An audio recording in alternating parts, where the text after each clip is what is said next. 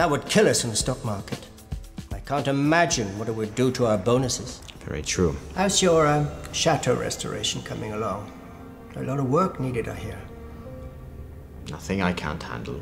Good, good. Well, give it a thought. I have every confidence in you and the team. I'm sure you can come up with something to uh, edge us up a bit. Ah, coffee. Now it's time for a new challenge. This may surprise you. I've uh, lost my place. No, Grandpa. You are in your house. I've lost my place. That's not possible, Grandpa. You don't know what I've done. I pulled the plug on him. You're talking about Dad.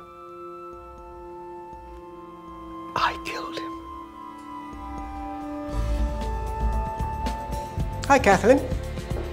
Haven't seen you for a couple of weeks. How are you getting on? Very well, thank you.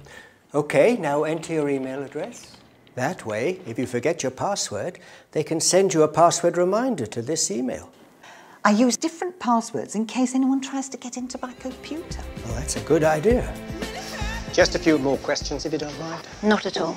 Um, your father's newest play is entitled uh, Village Far Away. That's correct. And even though you're now back on the stage, you won't be in it. Perhaps his excitement at seeing you back on the stage again uh, caused him to forget. Perhaps.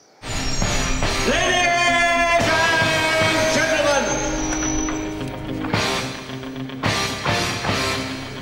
welcome to the International Tiddlywinks Association World Championship.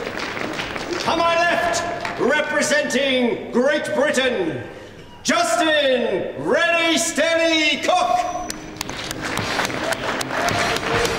I want some food. I want some too. Sometimes we come into conflict, but It's the spirit's job to understand each of our stories in all its minute detail. and fit it together with the stories of everyone else on Earth, so that we can all coordinate into a synchronous dance of life.